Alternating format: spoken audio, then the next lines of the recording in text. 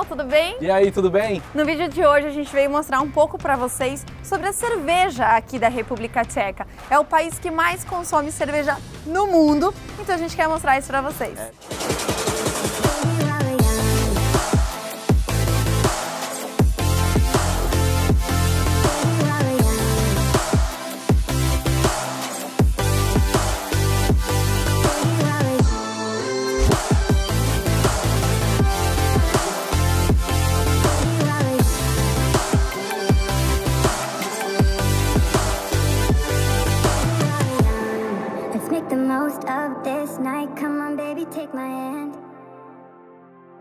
A cerveja foi a primeira bebida alcoólica a existir e nem se sabe direito a data. Diz uma lenda que um fazendeiro experimentou colocar um pedaço de pão que já tinha um dia na água. 24 horas depois, ele foi ver e se formou um líquido com uma polpa que fermentou. Hoje em dia, cada lugar tem a sua preferência para a fabricação da cerveja. Os africanos usam o milho, os chineses o trigo, os japoneses o arroz, enquanto os egípcios seguiram com a cevada. Hoje, a cerveja já é a terceira bebida mais popular do mundo. Mas antes da gente entrar, já vai deixando aí o seu like, que é super importante, se inscreve no canal, quem está vindo aqui no canal por esse vídeo. Né? É, e não esquece de deixar o comentário se você gosta de cerveja, se não gosta, se já conhece a história, é importante pra gente. Aqui em Praga, a história da Staropramen começou na metade do século XIX, quando a população de Praga cresceu tanto que as cervejarias não atendiam mais a demanda da cidade. Janko Hurt e Willem Pick sonhavam em fazer uma cerveja perfeita usando autênticos lúpulos Saz, tipos especiais de cevada e levedura. Foi assim que eles criaram uma cerveja conhecida hoje como Staropramen, que é essa cervejaria que a gente está conhecendo hoje aqui em Praga. É a maior cervejaria da República Tcheca e exporta para mais de 38 países. Vamos lá conhecer? Vamos!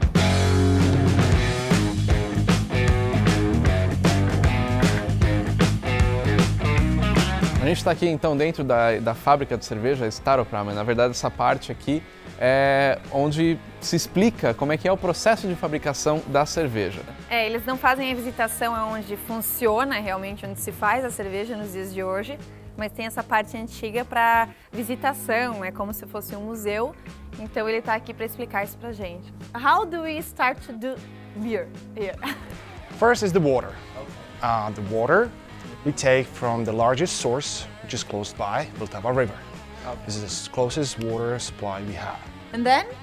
Then we need malt. O malte não é um grão pronto. O malte ele é um grão de cevada, um grão de trigo que é germinado, ele é colocado em água. Pequena germinação eles retiram e, e secam, né? É, e aí já tem até o... sai o açúcar dele ali uh -huh. já, né? Sim. Tanto que ele deixa secar esse malte já muda o sabor da cerveja.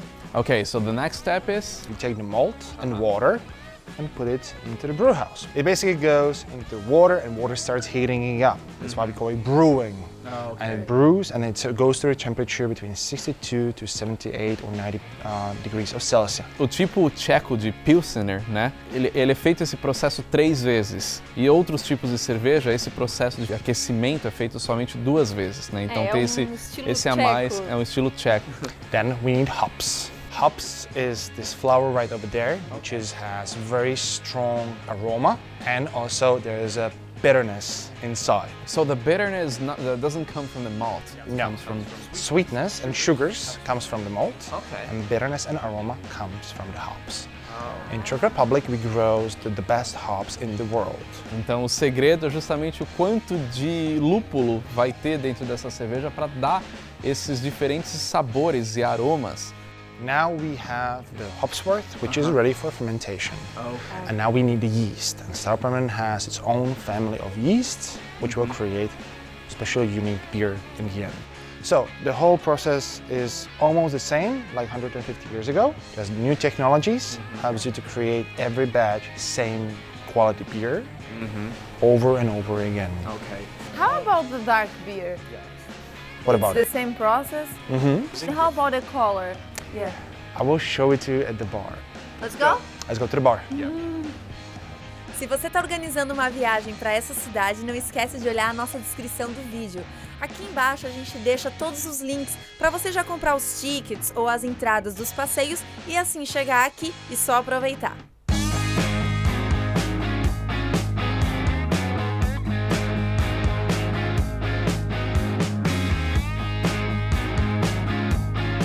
Bom, só para lembrar, quem ainda não conhece o programa, a gente não é não. especialista em cerveja. Eu não tomo cerveja, mas eu sempre experimento tudo, né, para ver é. como é que é e ter a opinião também. Né? E, e, passar um pouco dessa experiência para vocês. A gente não bebe cerveja, é, a gente não está aqui falando, né, de qualidade de cerveja. Não, né? a gente só quer dar uma opção para os casais que gostam de conhecer o lugar. Então a gente está aqui para isso. Okay.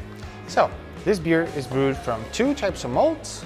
Two types of malts. ah. So we start with two. Um, they're very similar, uh, just slight difference. This one is a little bit lighter, this one is slightly darker. Okay. This is a Czech, Czech type, this is the German type. Okay. Pilsner or Bavarian. This beer is brewed from these two types. Okay, and this different comes from uh, how much you, you, you, dry it. Dry it. Yes, it will change the color a bit, and combination will create this nice golden colored beer. Okay. So have a sip a little bit. Cheers. We say in Czech, na zdraví. Na zdraví. We'll start first with classic uh, European style lager. We call it a premium lager. It's very easy drinking beer. Tem uma, um amargo baixo, né? Baixo, não é tão amarga. É. Ela é produzida com dois tipos de malte, um tcheco e um alemão. Como a gente falou lá em cima, essa diferença de malte vem de quanto seca. Né, quanto tempo malte. fica para secar esse malte. Exato. Now inside we have five type of hops and this is the hops which is already ready. É. Esse aqui então é o lúpulo, né? E, e parece uma raçãozinha. Porque Ele eles, fica, é, é. eles amassam e faz essas pequenas bolinhas assim. E essas cervejas elas usam cinco tipos de lúpulo. Né? Então você vê como cada cerveja tem uma combinação diferente ali dos seus ingredientes. Esse é meu. So, second beer, we call it unfiltered lager. Now, if you look closely, beer has cloudy look, and the color is a little bit different. Beer is more yellow. Yeah, it is. That's because we used a wheat malt. So this combination will create the more yellowish color, uh -huh. And also inside is uh, extract from apple and coriander. If you taste it, here is very light, very fresh and easy to drink. Much less bitter than the first one, because in the here we have only three types of hops, not five. Mas eu não senti, não, não, não dá o gosto é, de coentro. Dá para sentir um pouquinho do aroma da maçã. É, mas bem de leve. Bem de leve. So third beer is our special beer, we call it Granat. And we use three types of malt. Again, the first two which we have in the first beer, and now we add a caramel malt. And now you can see the big difference between the color. So put a little bit on your hand and try to taste it as well. É gostoso. Parece This um... one with beer, perfect. é engraçado como dá pra sentir até um gostinho meio de cerveja, né? Uhum. Nossa, é muito bom isso aqui, vou comer mais. e quanto mais açúcar você tem dentro da cerveja, mais álcool, mais vai ser, maior vai ser o teor alcoólico. Porque o álcool vem da, do açúcar. Exato, fermentação do açúcar. Essa primeira aqui, ela tem 5% de teor alcoólico, essa aqui tem 5,5%. Só que você fala, tá, então tem esse tipo de malte, então ela é mais doce. Só que eles usam um tipo de lúpulo mais especial, mais premium ali, que, que traz de volta o sabor da cerveja e o amargo da cerveja. Então você fica naquele balanço entre o doce e o amargo. O amargo. Né?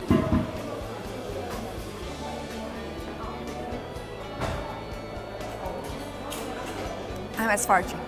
É engraçado que você sente o doce e o amargo ao mesmo tempo. So, a dark beer ah. and dark malt. So, why this is so dark? Roasted. Resposta da pergunta que eu fiz lá em cima da cor para ele. E é justamente isso. Então, é torrado. É torrado.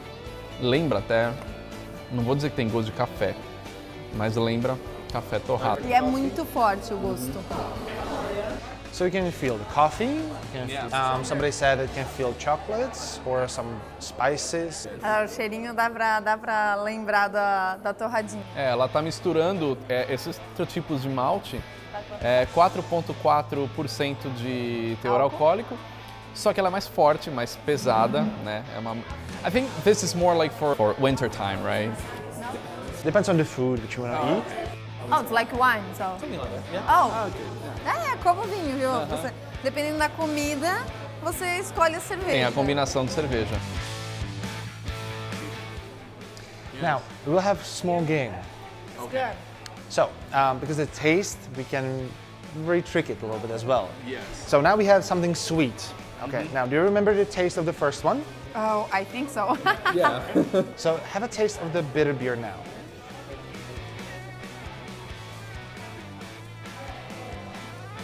It is more bitter. Mm-hmm. It is. Because if you have something sweet and then something bitter, mm-hmm. the bitterness will be stronger. Yes. So take a little bit bigger sip now of this one and then go for the sweet one. And let's see what happens. Leave it on your tongue a little bit. And now have the dark one. The sweetness will be stronger. oh, yeah. Yeah. Chocolate. Eu que não, não tomo cerveja, não estou acostumado a fazer esse tipo de, de degustação, consegui perceber claramente a diferença entre as, os quatro tipos aqui que a gente está tá experimentando. Bom, a gente terminou a degustação, agora ele falou que vai fazer a gente pôr um pouco de cerveja dentro do copo, que eu achava que era uma coisa um pouco simples, mas pelo jeito, Pelo jeito não é. Let's try. Sure. We need glasses first. Oh, yeah, you're right. No, we need beer first. Então, o primeiro passo, ver se o copo tá limpo. E ele falou, por- principalmente as mulheres que usam batom, tem que ver se não ficou o resto de batom que é difícil de limpar. Now, also it's very important that the glass is cold. Cold, because if this sits here for a while, it's warm, see?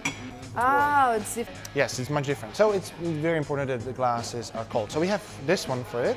And so you can try, you can put it here and press it down. Cold water goes inside. I can, you can go a little bit more. And it cools the glass from inside. There are some people that leave the, uh, the glass in the fridge. Does it make any difference? If it goes under zero, zero, so it's freezing, it's not too good because the beer will get kind of like a uh, temperature shock. Uh, that's not good. So yes, it's good if it has the glass around five, five, four Okay, degrees but not below zero. But not below zero. As a temperature shock, which is not good. Mm -hmm. Now we're ready to start, and we have uh, the old style of tap, which you call nostalgia nostalgia. which is basically this uh, style. And we can go from one side to another and it's closed again, see? All the way. So fully open is pointing this way, okay? So um, before we start, we need to always do like, uh, we call it like a leave some beer out. So that's like this. And now we're ready, okay? And we put the beer inside. We open just a little bit for one, two, three seconds, and then we open it fully. And then we go and see we pushing the beer out. We leave the foam, we stir it up, That's so beautiful. and that's it. Ah, First three seconds, it's to, to, to make this. Uh, foam. tem um tempo certo para você abrir essa válvula, não pode simplesmente abrir, deixa, né, tem para justamente criar a espuma certa. quero saber isso. Vamos ver como é que vai ser isso aqui. Okay. Sure. Oh my god. It's gonna be funny. One, two, three, and open fully.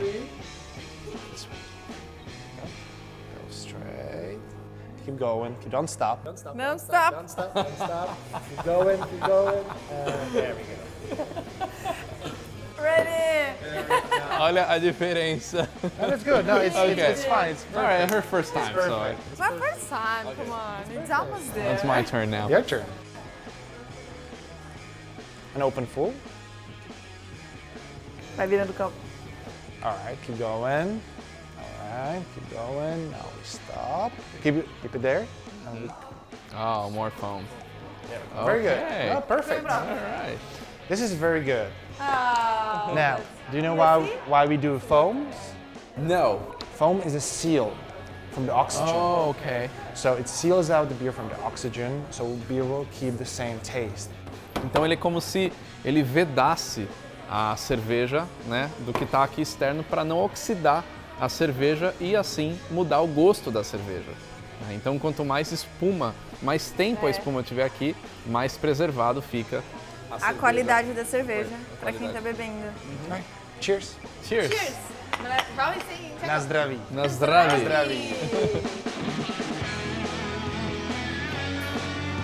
Eu adorei fazer essa experiência. eu não tinha noção, a gente não bebe cerveja, a gente não é fã de cerveja, então conhecer um pouquinho disso.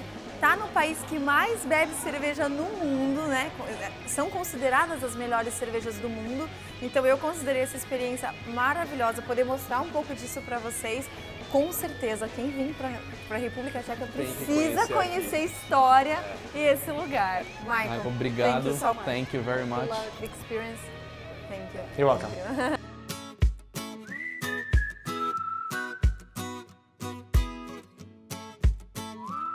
Bom, espero que vocês tenham gostado dessa experiência. A gente gostou muito, apesar da gente não tomar cerveja, mas deu para experimentar, né, Fernando? Deu para experimentar, saber um pouquinho a diferença dos gostos aí. E é isso aí. Então a gente fica aqui e até o próximo vídeo.